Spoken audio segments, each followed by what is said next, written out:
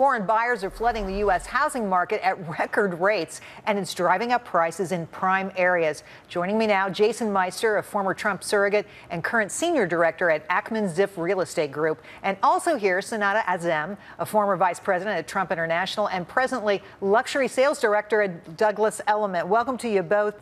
Uh, Senada, I'll start Thank with you. you. I, I think this market is just fascinating because if you, you know, buy American, it's everybody but Americans, right, who are in this marketplace. You're working in Florida. What's going on down there? Who is buying? Where are they from? Right now, Canadians are buying up a storm in Florida. And of course, everyone loves a good deal. Yes. And there's a lot of Canadian money coming. We see it as smart money because they want the value, but they also want the lifestyle.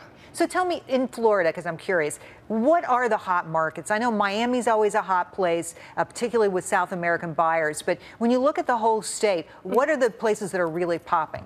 Right now, what's popping? Miami, of course, but Delray, it's a small Del town. Delray? Yes, really exciting uh, small town. Huh. Canadians love it. Also, they like Fort Lauderdale. So that's, that's been growing by leaps and bounds, though. I mean, the big story there, Jason, you're in this marketplace too. You know a lot about it. Sure. What do you see when you look at who is who are the buyers and why are they buying? Sure. So these reports that we're seeing today of these overseas buyers coming from China and Canada, they're they're mostly coming to actually Texas and Florida and California, not so much here in New York. Interestingly enough, yeah. I would have thought more. Yeah, I would have thought that But too. also, the numbers are definitely skewed, Jerry. Um, when you look at these numbers, they're closed deals. And these deals, for some of these deals, they've been in contracts for a year, 12 to 18 months. So they're now closing. There has been a, a drop in cap in foreign capital for sure in the overseas buyers coming to New York specifically. So I think that the numbers are a little bit skewed. Interesting. Having said that, I think there's definitely very big optimism about about the U.S. market, especially here in New York and Florida. And, and gotta Texas. love it. Gotta love it. It's a great country. I want to talk about these housing start numbers though, because they were a big surprise, and this has sort of been the missing link in a lot of ways in this housing market here in this country, is that you could get luxury built, but you can't get the entry level built. Mm-hmm. What do you see out there in Florida in particular? In Florida, a lot of foreign buyers actually like these new homes, and we've noticed that uh, the construction simply cannot keep up, even though we have a lot of cranes out there.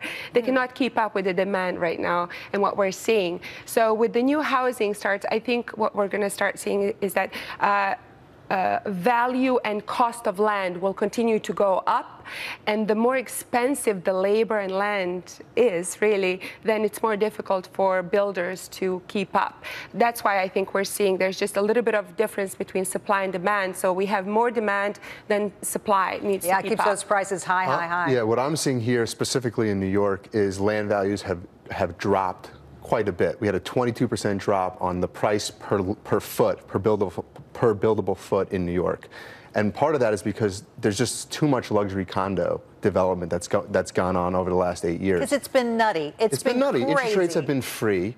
We had interest yeah. rates that were free. Everyone became a developer and it's just too much. We have oversupply of, of, of luxury condos. well, and that's not true across the country, obviously, no. right? I mean, no. pockets have that kind of sure. success, and and certainly, you know, I look at this and I think, you know, is there another shoe to drop? But at the end of the day, we really do want some construction, but we want it at the low end, we right? We want it at the low end. We want we want what I call affordable housing, or we want affordable luxury housing, at least here in Manhattan. What, what we needed was land to drop so that people, so developers could actually make money building to that level of, of construction. And we're seeing that now. I think, can, can it fall a little bit lower? Yes, but I don't think we're going to see another shoe to drop. I think that it'll, it'll fall a little bit lower, and then we'll we'll, we'll build. All right, let's you know hope those millennials get in the market someplace and move Hopefully. out of mom and dad's basement, and that'll help the market. Thanks so much, guys. Great job.